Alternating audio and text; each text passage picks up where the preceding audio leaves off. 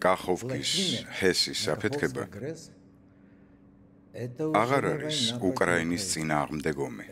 ეს უკვე ომია მთელი კაცობრიობის წინააღმდეგ. ეს უკვე ცალკე პუნქტია იმ არამზადების დანაშაულის საქმეში, რომლებიც ამაზრამდე მივიდნენ. იმიტომ რომ ამ აფეთქების მასშტაბები და შედეგები მთელს კაცობრიობას ემუქრება. ვერც ჩვენ და ვერც ვერავინ სოფლიოში ვერ წარმოიდგენს რა შედეგებს გამოიწვევს ეს არაადამიანური აქტი. თუ ადრე ეჭვი მეპარებოდა და ვფიქრობდი რა მოხლით გაასამართლებდნენ დამნაშავეებს, რომლებიც ამაზე წავიდნენ? დღეს უკვე დარწმუნებული ვარ, რომ ეს საშინელი არაადამიანური აქტი უკვე სხვა კანონით უნდა გასამართლდეს. ამის მოფიქრება მხოლოდ სტალინს თუ შეეძლო. როდესაც ვიხსენებ დიდი სამამულო ომის ფაქტებს, ჰიტლერსაც კი არაუფეთქებია პლატინა. იმიტომ რომ ამ საშინელი დანაშაულის შედეგი მთელს კაცობრიობას ეხება. ეს შედეგი თანმიმდევრობით გამოვლინდება. ეს არ არის მხოლოდ ახლომდებარე ტერიტორიაზე ათასობით დადებული ნაღმი. ეს ასევე არის მოვლენები და შედეგები, რომელთა წარმოდგენაც ძალიან რთულია. საშინელება.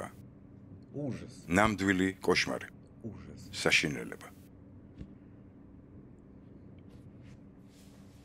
არ ვიცი. სიტყვები არ მყოფნის.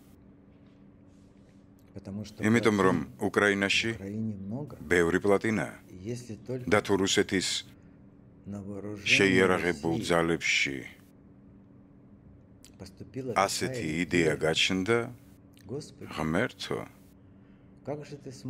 ღმერთო როგორ უყურებ იმ ნაძირლებს რომლებსაც ეს იდეა თავში მოუვიდათ დაუჯერებელია უპატიებელია იმედი მაქვს ვიცოცხლები იმ დრომდე და მოვესწრები რომ დამნაშავეები უმკაცრესად იქნებიან დასჯილები. კანონის სრული სიმკაცრით რომელიც ჯერ მოსაფიქრებელია. იმიტომ რომ ისტორიაში ასეთი ომი ჯერ არ ყოფილა რომ გითხრათ ეს სირცხვილი და უნამუსობა ეს იგივეა რომ არაფერი არ გითხრათ.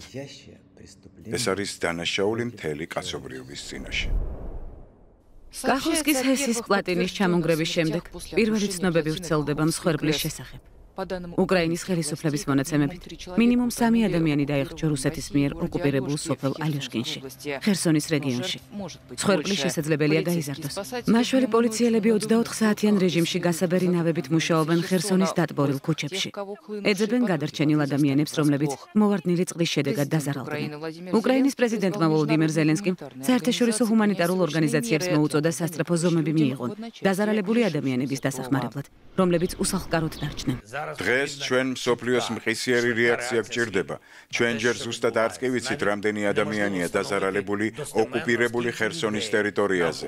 გადარჩენილები შეიძლება დახმარების გარეშე დაიღუპონ წყლის, საკვების და სამედიცინო დახმარების გარეშე.